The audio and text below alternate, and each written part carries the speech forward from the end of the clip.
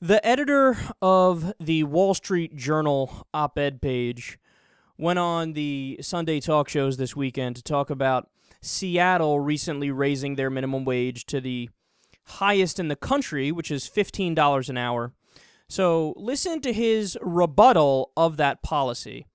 I call this the argument from narcissism. When you raise the cost of labor, you just cost price a lot of people out of the labor market, particularly the young, the least skilled, teenagers, people who want to go in and start on that, get on that basic bottom rung of the economic ladder and move up. Look, I worked for the minimum wage, two bucks an hour back in the 70s. I had jobs that, you know, what did I learn? I learned to show up on time. I learned certain skills, and I learned I didn't want to make the minimum wage for the rest of my life, so I better get an get education. You see why I call that the argument from narcissism? It's all about him. I've heard this argument so many times before. Bill O'Reilly makes the same argument.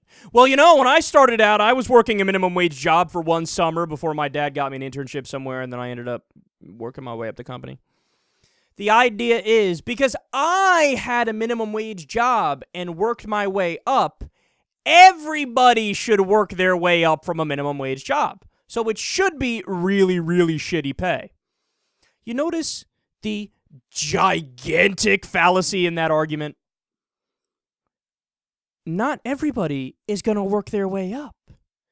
And you wouldn't want everybody to work their way up from a minimum wage job. Why? Because we absolutely need minimum wage workers in the country, in the sense that we need people to do those jobs. If everybody worked their way up, not everybody could be a manager.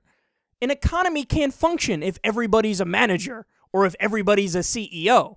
Then nobody's there to do the actual work. It's amazing that they don't piece these things together.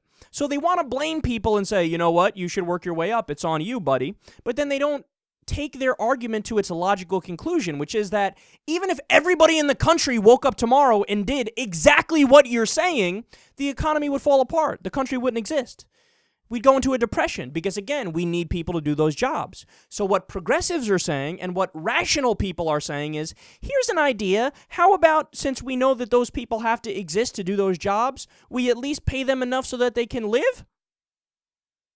Yeah i know we're we're crazy right? That's a crazy idea that if you work a full-time job you should make enough money to survive without having to run to medicaid and food stamps to get by and also, their their entire belief system is this massive contradiction because they say at the same time as this, uh, we're in favor of small government. Okay, but wait, wait, wait. You would get smaller government if you raise the minimum wage, because then food stamps and Medicaid, those programs would shrink because less people would need to go to them, because they'd be getting enough money from the job that they're working at. So they have a massive contradiction. They say, no, we want to cut Medicaid and food stamps and the other social safety net programs, and we also don't want to raise the minimum wage. Well, then people can't live, dipshit. What are you going to do? What are you going to do? Just have their kids starve in the middle of the street? Is that what you want to do? But they don't think it through. And if they did think it through, they might not even care.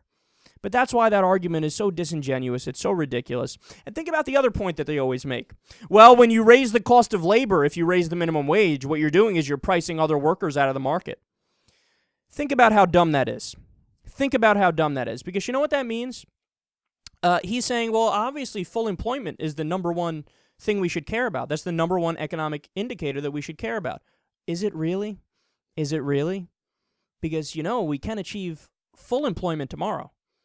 We could have 0% unemployment tomorrow. Well, how do you do that, Kyle? A little thing called slavery. It's true. You could have 0% unemployment if you have slavery, because everybody who's not working, who's unemployed, go work for free. 0% unemployment. And again, that's his argument is, well, look, you're pricing people out of the market. You know, if you raise the minimum wage. Yeah, you know, in Bangladesh, they uh, they're taking your advice. They're saying, look, we don't want to uh, have people not working, so pay everybody like two bucks. Actually, two bucks would probably be a lot for that area. Pay everybody like 57 cents, you know? And then a lot of people will work for no money whatsoever. I mean, it's just, they're such bad arguments, man. They're such bad arguments, you know? And then also, what was he saying? Oh, 1960s or 1970s or whatever. I was making this amount of money per hour with the minimum wage. Motherfucker, the 1968 minimum wage would be equal in today's dollars to about $10.40 an hour. Okay? So today, the minimum wage is worth less than it was in 1968. So without even realizing it, you're arguing to raise the minimum wage. They're just so silly. If you were to chain minimum wage to productivity, it'd be about $22 an hour right now.